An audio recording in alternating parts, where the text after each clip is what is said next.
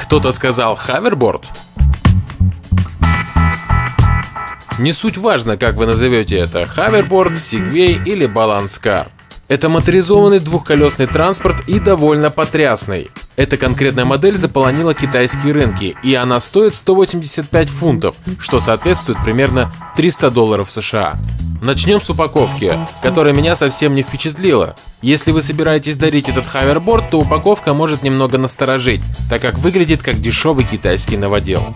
Но открыв упаковку, я был впечатлен качеством исполнения. Несмотря на то, что это пластик, ховерборд очень и очень тяжел. Качество сборки также на высоком уровне. Вставая на доску впервые, вы будете поражены. Что было сложным для меня, да и пожалуй для любого, кто встает на ховерборд, это управление им. Но немного освоившись, что займет примерно минут 10, вы будете приятно удивлены возможностями доски. Вставать и слезать всегда немного сложнее, зато движение на хаверборде невероятно плавное и ощущается естественно. Кстати, вы сможете перемещаться на доске даже быстрее, чем бегать, что потрясающе. Освоение с доской у некоторых занимает больше времени.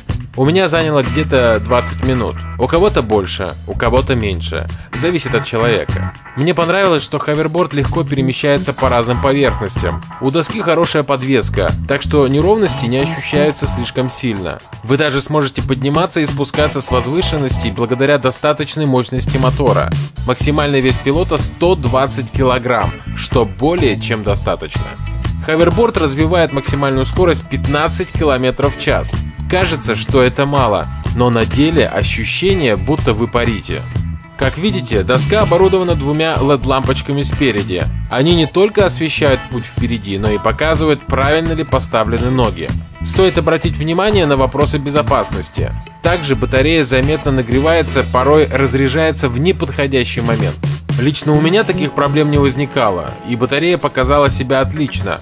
Одной зарядки хватает на 45 минут катания. Довольно хороший показатель. Хочу отметить, что хаверборд будет выглядеть новым недолго. Вы будете врезаться довольно часто, и следы повреждений не заставят себя долго ждать. И хотя доска довольно живучая, первые повреждения появятся скорее всего уже на первый день. Перед покупкой подумайте над безопасностью, а также взгляните на законы вашей страны, так как доставка невозможна в некоторые страны. Должен сказать, день с хавербордом был потрясающим. Было очень весело и на удивление комфортно. Спасибо за просмотр, подписывайтесь на канал, ставьте лайк. Увидимся.